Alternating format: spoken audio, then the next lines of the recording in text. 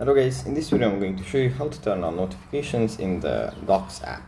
But before that, don't forget to subscribe and leave a comment down below because at 10,000 subscribers I'm going to show you my whole YouTube revenue statistics and growth strategy. So without further ado, let's jump right into it. First we have to open up the Docs app. And here it opens up in the Drive files.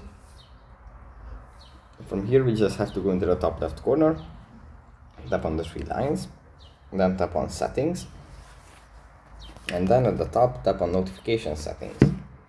And here uh, we can turn off uh, notifications by tapping on allow notifications and uh, just yeah.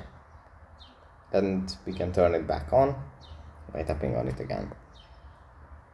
And then we can customize it uh, and yeah that's pretty much it for this video. Hope it was helpful for you guys and i'll see you in the next one. Bye